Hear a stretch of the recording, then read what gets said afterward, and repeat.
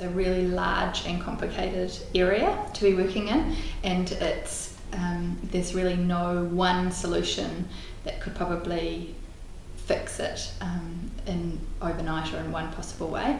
Um, I think it's really huge. It's a global problem, and so I think that solutions will need to be interdisciplinary.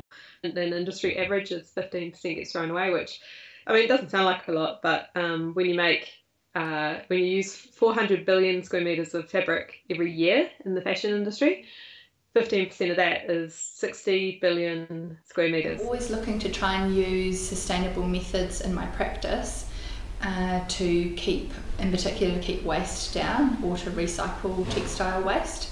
So some of the sorts of things I've used are clever cutting techniques um, by cutting different shapes out of the patterns instead of traditional pattern cutting where you cut less off or even aim to cut absolutely zero waste off. We can't continue to, to sustain the way that we have and the volume that we have. It's just not um, it's not possible because we live on a finite planet.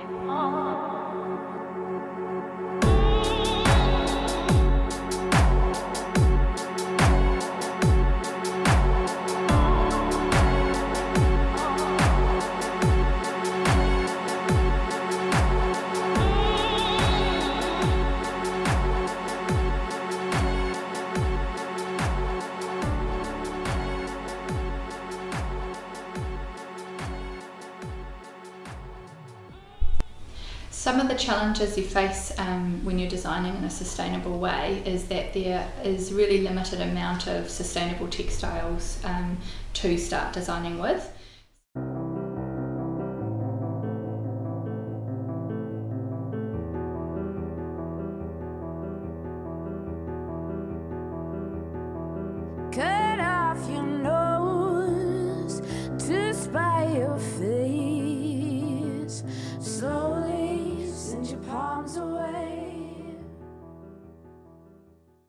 Did you know that a third of garments in retail stores never get sold?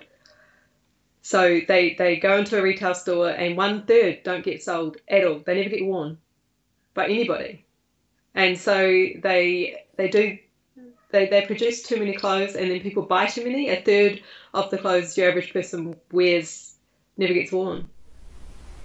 I think there's two barriers that um, stop fashion designers um, designing sustainably or hold people back from thinking they can.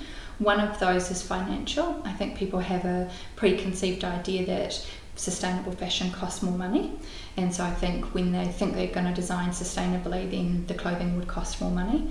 I don't think it actually needs to be like that, um, but I think it's an idea that people have or a misconception that people have.